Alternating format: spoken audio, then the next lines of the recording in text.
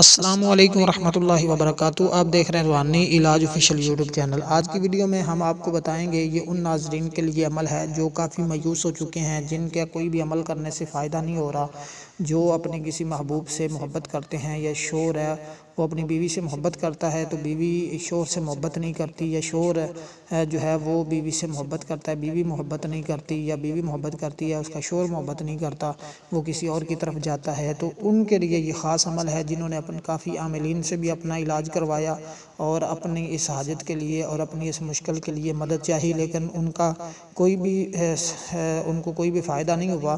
ان دوست احباب کے لیے یہ عمل ہے، میں اس لیے جلدی جلدی آپ کو بتا رہا ہوں تاکہ آپ دوست اس ویڈیو کو سکپ نہ کیا کریں۔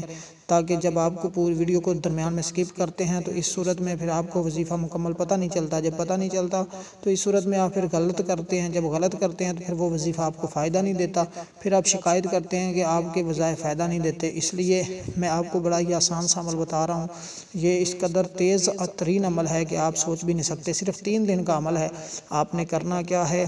سب سے پہلے اس کو جائز مقصد کے لیے کرنا ہے۔ نجائز مقصد کے لیے ہرگز نہیں کرنا۔ جو بھی اس کو نجائز مقصد کے لیے کرے گا، وہ اپنے نقصان کا ذمہ دار خود ہوگا۔ میں اس سے بری ذمہ ہوں۔ اللہ کے ہاں اس سے میں بری و ذمہ ہوں، میں کسی کو اس کو غلط مقصد کے لیے نہیں اپلوڈ کر رہا، میں آپ کی آسانی کے لیے کر رہا ہوں کہ کسی کی بیوی شور سے ناراض ہے تو شور یہ عمل کرے، اگر شور ناراض ہے تو بیوی یہ عمل کرے، انشاءاللہ تعالیٰ ان کو بہت زیادہ اس سے فائدہ حاصل ہوگا اور انشاءاللہ محبت پیدا ہوگی۔ عمل کیا ہے؟ سب سے پہلے آپ نے اول آخر گیارہ گیارہ مرتبہ درود ابراہیم پڑھ لینا ہے اور یہ اس عمل کو کرنا کس ٹائم ہے؟ اس کا خاص ٹائم ہے عصر کی نماز کے بعد۔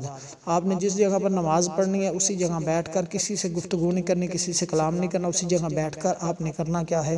اول، آخر، گیارہ گیارہ مرتبہ درود ابراہیم پڑھ لینا ہے۔ پڑھنے کے بعد آپ نے اپنی بیوی کا نام کسی کاغذ پر لکھ کر اس پر اپنا ہاتھ رکھ لینا ہے۔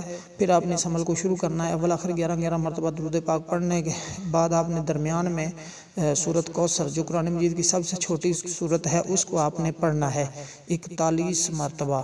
اور تین دن تک اسی طرح یہ عمل کرنا ہے۔ تین دن کے اندر اندر انشاءاللہ وہ جس کے دل میں آپ محبت پیدا کرنا چاہتے ہیں، اس کے دل میں آپ کی محبت بے پناہ پیدا ہو جائے گی۔